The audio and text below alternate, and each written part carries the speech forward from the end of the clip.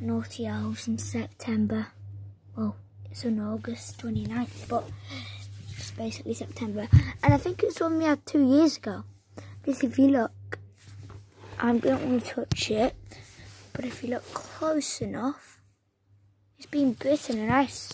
That's the one that we had two years ago when my when my dog bit it, the naughty elf. So could I touch it? Because it wouldn't be alive, would it? I mean, they do have powers, don't they? After all. Unless it's fake. Nah, I'm joking. Santa Claus, if you're wondering where your elf is, it's under our bed. Elves these days, I mean, that's the dog's fault. It's literally sweating inside his head. That's inside of his brain. He's got no brain. Yeah, so yeah.